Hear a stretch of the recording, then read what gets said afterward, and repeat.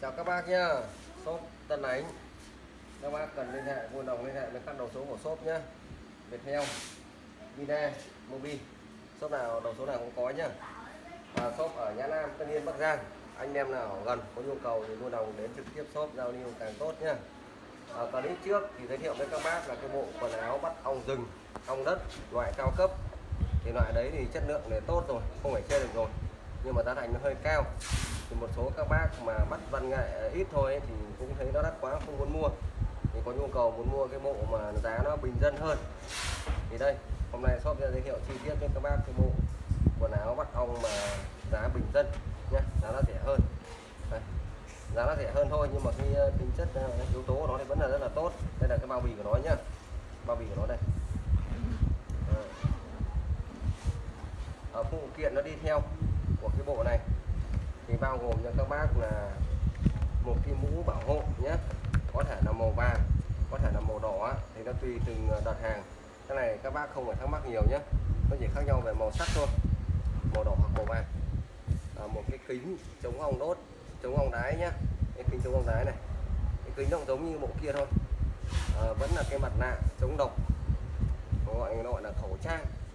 Khẩu trang giống như mặt nạ chống độc nha các bác nhé. Các bác mà các bác xoay cái này làm sao cho nó đeo hợp lý. Nên một số làm ông mà ông cây ấy nó đái rất là dữ. Các bác lưu ý phải đeo cả cái khẩu trang này vào đấy nhé cái khẩu trang này kính này ờ, mũ bảo hộ này nhé và đôi găng tay đôi găng tay. Cái bộ này ấy, đặc biệt là nó không có găng tay liền thì nó sẽ cho mình đôi găng tay ra giờ đi theo. Đây là thông số của sản phẩm này. Đây. Còn phần chính của bộ, đồ này tôi lấy ra cho các bác xem nhá cái loại này thì nó sẽ nhẹ hơn bộ kia. Loại này nó chỉ nặng được hơn 2 kg thôi.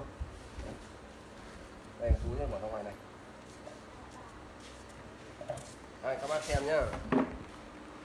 Cái này ấy, thì chất liệu nó là bằng vải bạc. Vải bạc rất là dày. À, may đường chỉ thì chắc chắn. Đây. phần này là phần mũ phần áo và phần quần sẽ được may liền với nhau. À, không có găng tay liền và sẽ có bổ sung thêm cho các bác găng tay rời găng tay da rất là dày nhé. Đấy. Đây, không có găng tay liền có găng tay rời. Nha. quần với áo thì vẫn là may liền. Ở phía dưới quần thì cũng không có ủng nha các bác nhé. Ở riêng cái ủng ấy thì các bác sẽ phải tự trang bị bằng ủng hoặc là bằng giày ngụy trang hay là giày đi rừng thì các bác thì các bác tùy các bác uh, mặc vào thả ủng vào hoặc là đeo giày vào thì các bác có cái dây này. Các bác thắt nó lại nhé kéo rút mạnh nó lại để cho cái ống này nó rúm lại. Cho nó co nhỏ lại để chống ong nó chui vào nhé Đây. cái bộ này ấy, thì nó sẽ có ít lỗ thông hơi hơn bộ kia. Nó chỉ có hai lỗ phía trước thôi. Chất liệu thì nó bằng bạc nó cũng rất là dày đấy. Ong mỏ vẽ ong cây hay là ong màu rời đấy thì không thể đốt qua được còn ong đất mà đốt riêng vào cái bạt này ấy, thì cũng không thủng nha các bác nhé đây nhưng mà bộ này nó không được kín đáo lắm thôi đây là cái giải khóa để kéo mặc đồ nhé các bác nhé. À. nó cũng dán suốt luôn. Dán suốt luôn. Đây. ô thoáng này thì cũng có ba lớp. Nhé ba lớp các bác tôi kéo khóa xuống này. Tôi kéo khóa đây. À, riêng cái mũ này nhé các bác để ý này. Cái mũ này này nó liên kết mấy bộ quần áo bằng một đường kéo khóa bằng một đường khóa như này. Mở ra hai bên. Mở hai ra hai bên gặp nhau ở điểm giữa nhé Đây, các bác mặc thì các bác mở ra. Đây, mở ra hết thì nó sẽ gặp nhau điểm giữa nhé các bác nhé phía trong đây.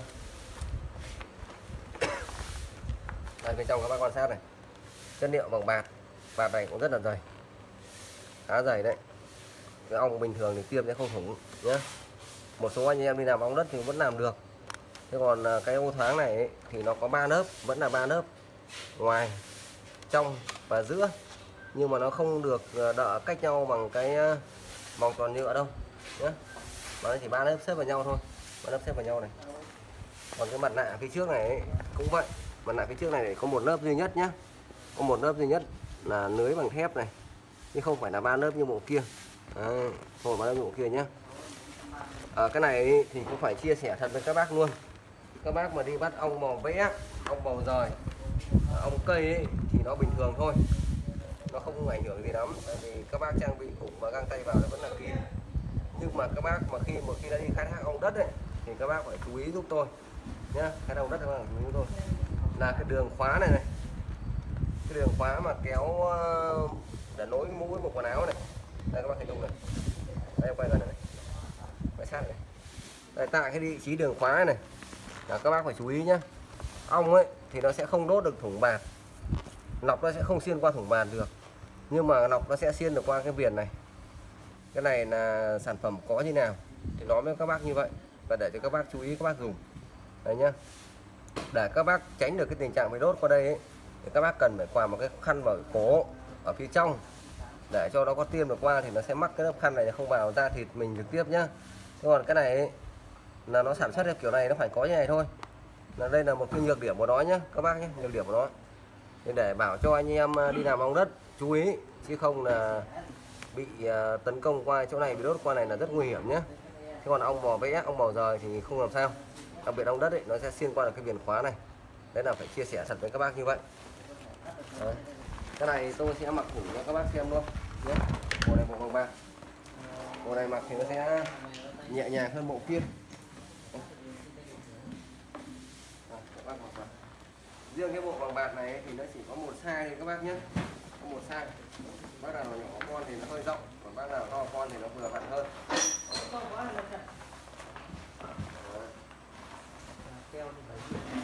Còn các bác kéo lên. Đeo uh, ống tay vào.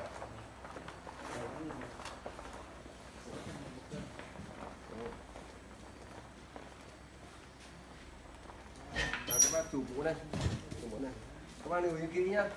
Các bác phải dùng cái mũ bảo hộ này. Đấy là tôi khuyên các bác mà rõ ràng và cái điều chú ý cho các bác luôn. Các bác không dùng cái mũ này là rất là nguy hiểm đấy nhá. Phải dùng cái mũ này để nó chống để cho cái uh, lưới nó chìa ra giúp cái lưới quan sát của mình ấy nó cùng ra phía trước. Còn cái này thì ở phía trên thì nó liền rồi. Phía trên nó liền nó không ô phá đâu. Ừ, nó không bị ờ, sợ ong nó tấn công từ trên đâu. Nhưng mà cần phải có cái mũ. Đây.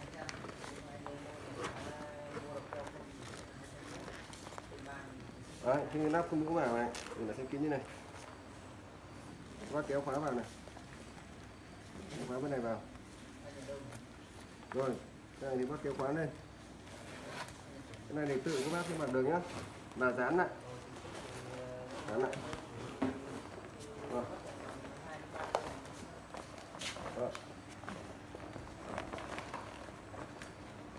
Nè đã hoàn thành các bác nhé Đấy.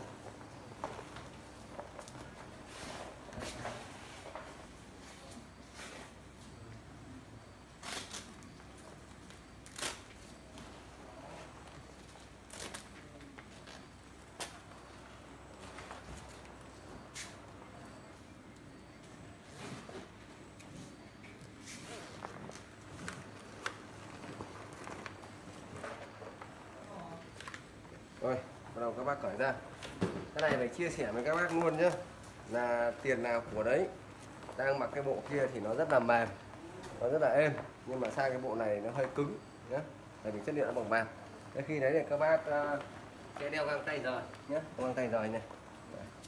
Đôi găng tay này thì uh, rất là chắc chắn. Phía trên có bằng da này, trên cổ tay. Trên là da cứng, dưới là da mềm. Đấy, các bác đeo găng tay vào. Xong đó các bác thít lại thì vẫn đảm bảo an toàn về đôi tay nha các bác nhé. Đôi tay vẫn đảm bảo an toàn. Thế còn về chân thì các bác phải tự trang bị ủng nhá. Tự trang bị ủng.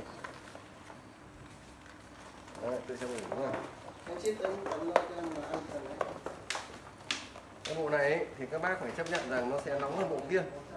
Tại vì nó ít ô thoáng hơn. Ít ô thoáng hơn.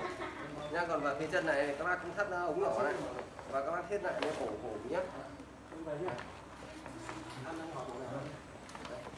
đây hàng ship đi rất là nhiều.